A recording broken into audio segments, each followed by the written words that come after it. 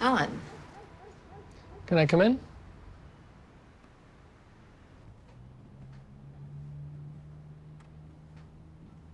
I just bought it. It's a fixer-upper. Clearly.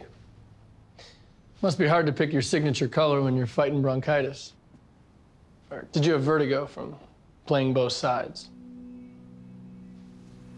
So that's why you're here. Missed a lot of action the past few days. I assume you came here to fire me? On the contrary. See, on this one thing, Matthew and I actually agree. The DA's office, we need this win.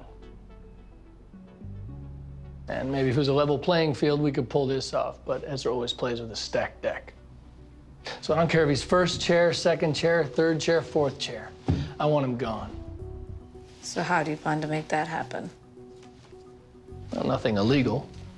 We're just gonna cheat the cheater. I'm gonna send you back into the wolf's den.